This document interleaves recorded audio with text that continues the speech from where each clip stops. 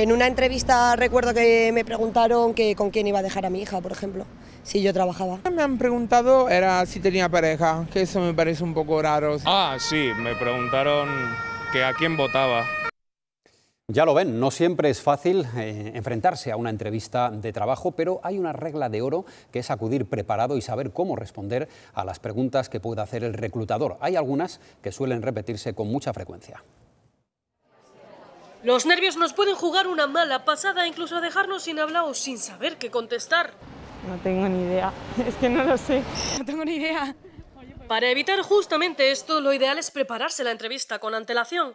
Intentar saber a qué empresa vas, si tienes la información, tener claro a qué puesto de trabajo vas y repasar aquellos aspectos de tu trayectoria personal que tengan mayor relación con el puesto de trabajo. Una de las preguntas típicas es cómo se mantiene actualizado en su trabajo. Y para estar al día muchos coinciden. Eh, formándome online o buscando cosas, leyendo. Hacer cursos, me gusta leer sobre mi trabajo. Otra cuestión habitual es cómo se dirigirían a su jefe. Y es que este a veces se impone. Me daría cosa. Y lo ideal es ver si la persona tiene recursos para manifestarlo con asertividad, con cierta contundencia, pero sin resultar, sin resultar agresivo. Algunos han vivido situaciones verdaderamente complicadas en el trabajo. Teníamos, por ejemplo, en la oficina dos patos, iban por los rincones y por ello en una entrevista también nos pueden preguntar cómo actuamos ante situaciones así. Y recordar alguna en la que actuó de determinada manera para comentárselo al entrevistador. Y recuerden, si le preguntan por su vida personal no tienen por qué contestar. Esta información no es importante para evaluar la capacidad